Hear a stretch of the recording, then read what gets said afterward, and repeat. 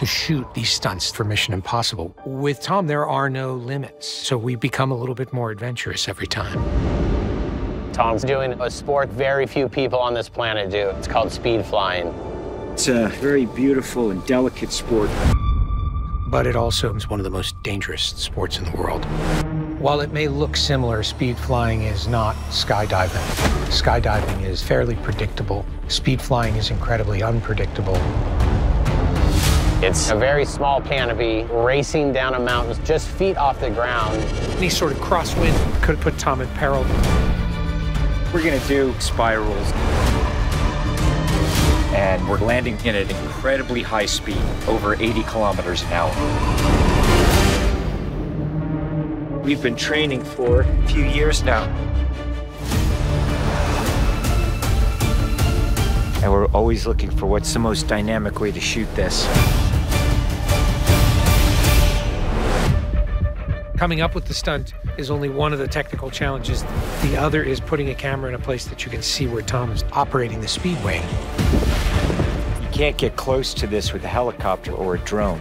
So we had to develop a gimbal system flying along with Tom. You had cameras hanging off of both sides being operated in a helicopter. What's going to work is here's you, here's me. This is what we need.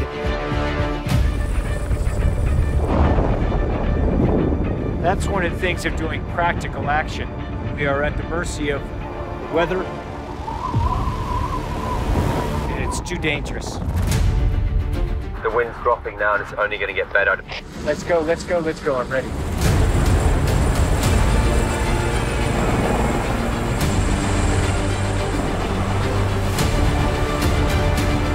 Confirming you have picture now. Picture's good. Three, two, one, action. Tom is airborne. Tom is airborne.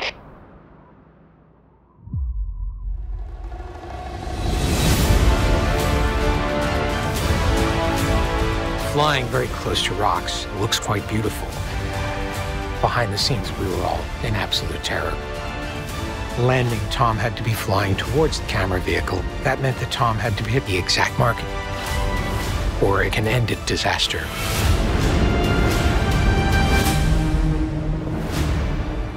It is truly a one of a kind adventure.